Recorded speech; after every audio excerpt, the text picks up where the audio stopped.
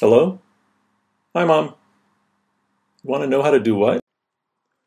Okay, so in the previous video, I exported some photos from iPhoto, and you'll see I have them on the desktop in these two folders, which you can also see here. And now I'm going to show you how to burn them to a CD or DVD. It really doesn't make any difference whether it's a CD or DVD. So the first step is I'm putting in a blank CD-ROM.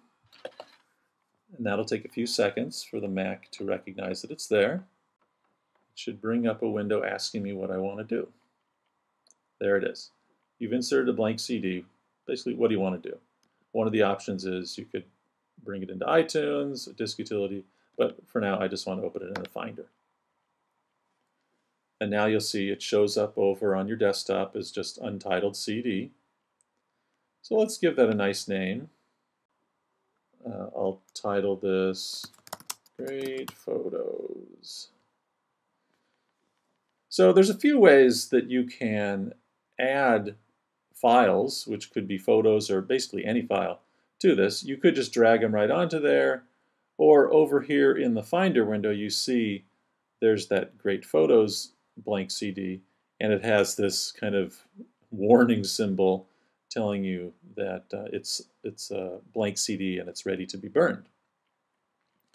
Um, I like using this method here because it also tells you how much space is available. And it tells you up here, recordable CD. So I'll just drag this folder over, and when I let go, now it tells me how much more space I have available. But since I don't want this video to be any longer, I'll leave it at that and show you how to burn. When you've dragged everything you want to be on the CD into this area, then just click the burn button. It gives you one last chance to name it.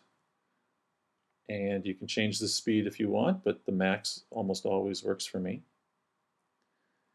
And then just click burn.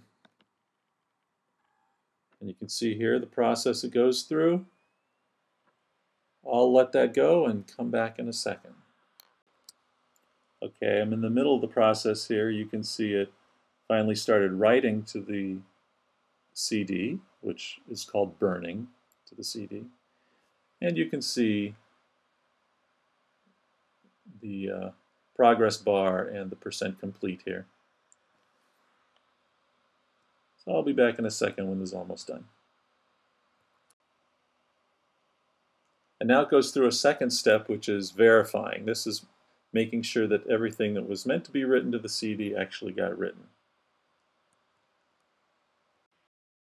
Okay, the verification is almost done. And that's the sound you get when it's all done.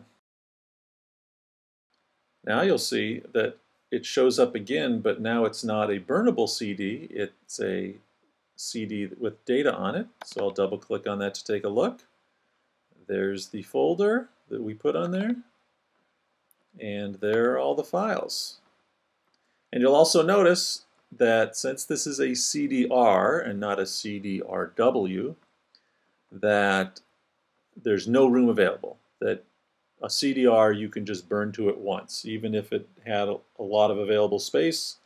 Once you burn it, you're done with that one. So, hope that helped. Have fun burning photos or anything else to CDs so you can share them with your friends.